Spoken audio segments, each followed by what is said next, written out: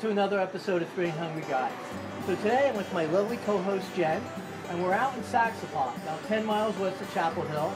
This cool little pub restaurant that is in the, the city center village, little shops, has a general store, a hair salon, a butchery.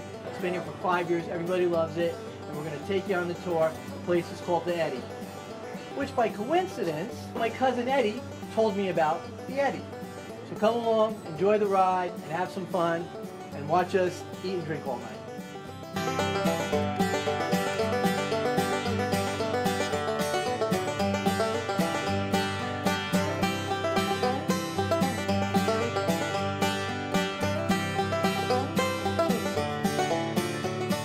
Hey guys, I'm here with Isaiah Allen, and we're gonna get started on their famous burger. Uh, tell us a little bit of why you think it's so special.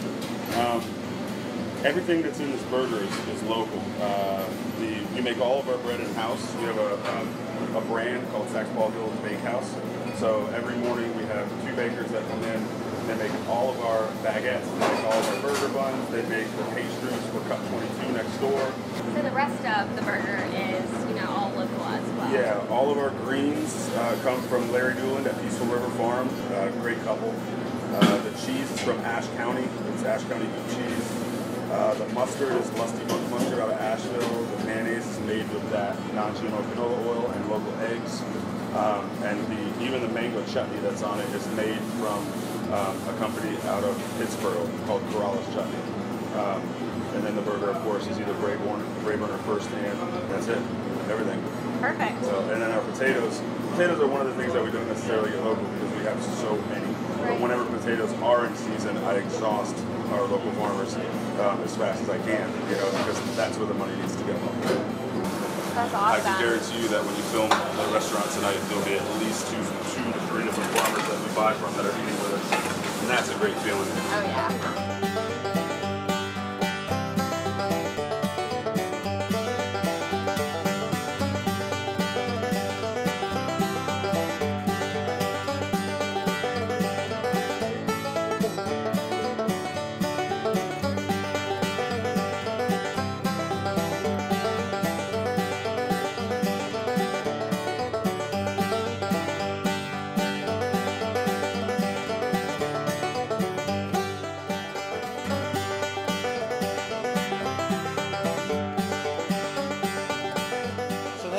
Cooking's all finished, we're gonna ready to dig in and eat some of this great food. But it's really cool. First thing I want to mention, the table that we're actually eating at is an extension of the bar, and it was actually the floor of the textile mill that they ripped up and made into a cool bar. Very historic. Maybe a Civil War general walked across this floor for all we know. So anyway, back to the food. So we're gonna dig in, and the first dish that we made that we're gonna try is the Beef conti. Never really tried anything like this, and uh, all of the ingredients are local, so that just makes it exciting. So we got some beef shank, we got uh, little spaetzles in there, the Beef, tender, really flavorful. And the spaetzle's really good too. And it's funny. My mom's German, and she was not a good cook. And I hope she's not watching this episode. But the one thing she could make was a spetzel. It's good. And this reminds me of my mom's spaetzle. So a nice mix of flavors, the vegetables, the green beans, the beets. I can also taste the orange zest in there. Oh, well. absolutely. It has a nice little orange twang to it. I guess. Really ties it in all together. So the next dish we're going to try is the meatloaf. They baked it, whatever, and they pan seared it. And we're going to dig in here. Small salad on top, pickled onion. And a little of their house-made ketchup. Very flavorful. Yep, with the onions on top. Great combination. That ketchup, you can taste that it's definitely fresh. And what's great, they make everything from scratch. So ketchup, tartar sauce, everything we're having is made in-house from scratch. Most of the items are all locally sourced. I think he told me the salt, the olive oil, and the mussels are like the three items that are not sourced locally from the state of North Carolina. I think that's my favorite so far. The crunch that you get out of that is just perfect. So one of the most popular dishes are their cheese fries. You know, Menu cheese fries, and even the cheese is locally sourced as well. you gotta have some great pub food, cheese fries, fish and chips, the burger actually, a couple local grade pub items, and we'll tell you how we like them. That pimento cheese has a little bite to it. Tangy. Kind of have this peppery undertone. Yeah. I can't put my finger on it. Well, pimento cheese has some peppers in it, but these peppers must have a little touch of heat to it. Really flavorful. What's something that I love about this show? I, I, I'm eating things I normally wouldn't associate or try. So now we moved on to the fish and chips, which their version, because they want to keep everything locally sourced, instead of using cod, they use a locally farmed catfish native to North Carolina here. So we're gonna try this. This has to be my favorite, actually. Oh, every dish becomes her new favorite. But again, No, really, this one wins. We'll, we'll see what happens when the burger comes into play, Yeah. But I like her. I'm like, all right, fish and chips are good, but I've never had fish and chips with catfish, and with that homemade tartar sauce, it's out of this world. takes it to another level. Chef even told me a story a few weeks ago. A local girl here, her, her grandfather from London came to visit. They came here Saturday, and he tried the fish and chips. And before he went back to London, he had to come back and get it again because he said it was as good or better than anything he's gotten in London. And if you're better than London's fish and chips, that's saying something. So here we have their famous burger. Um, this is actually one of the chef's favorites. He has this about three times a week. Um, but everything is pretty much locally sourced or homemade up to the bun and the cheese. And the best part would probably be the mango chutney and lusty mustard on there. It's kind of a sweet and salty combination. So a little house-made mayo in there also. Right. So I don't think we can put ketchup on that. I think we got to go with the way. uh, I think so- you're right. I think you're right. Right.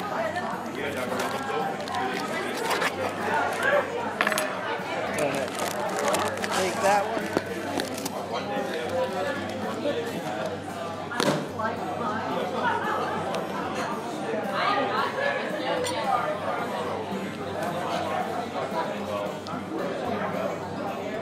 Huh? Now, is this your favorite? My new favorite. Those flavors, and again, it's a fresh burger, seasoned nicely. And when you take the chutney, you can really taste that the cheddar cheese has a strong flavor. It's not a processed piece of American cheese. It makes for one damn good burger. Now I know why they sell out so many. This is not your ordinary burger. This is something different.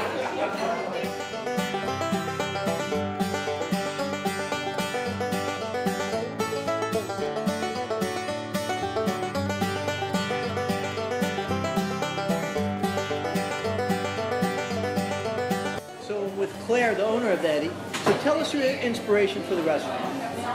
Yeah, so uh, my partner Doug and I moved here almost 10 years ago, and um, we wanted to be able to provide a place where people you know, could be a part of essentially our living room, but they had a place to go to celebrate birthdays, anniversaries, um, similar to a pub in, say, England. Sort of modeled the Eddy on um, British pub, only Saxapahaw style. Lots of corners at the bar, um, tables that you don't sit too far away from each other, um, trivia, you know, other events, um, community dinners and beer dinners where folks really have reasons to get together and have conversations and And, I, and I've noticed there's no TVs here. no TVs. No, we want everybody to use real live communication, talking to each other. Foreign in this day and age, really, when you think about it. So, so actually today, we're here not only doing dinner, but tell us about, we're here for the beer dinner, which they do once a month, so tell us a little bit about the beer dinner.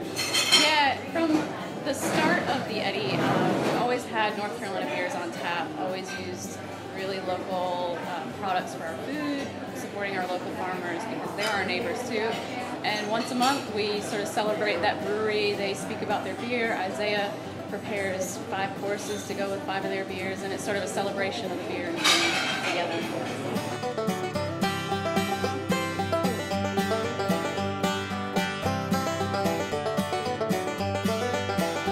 So I'm with Ben, the owner of Haw River Farmhouse Ales, and that's who's actually putting on the beer dinner tonight. Yeah, so we're actually located right downstairs. Um, we do a beer dinner with, with the Eddy um, every quarter, so we can keep nice seasonal beers matched up with their beautiful seasonal menu.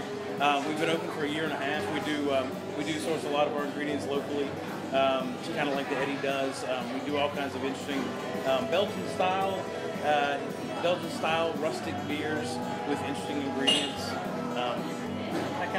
Yeah, cool.